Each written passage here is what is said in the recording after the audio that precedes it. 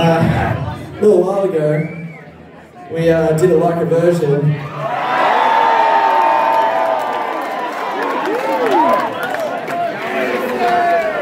best one of my life, to be honest.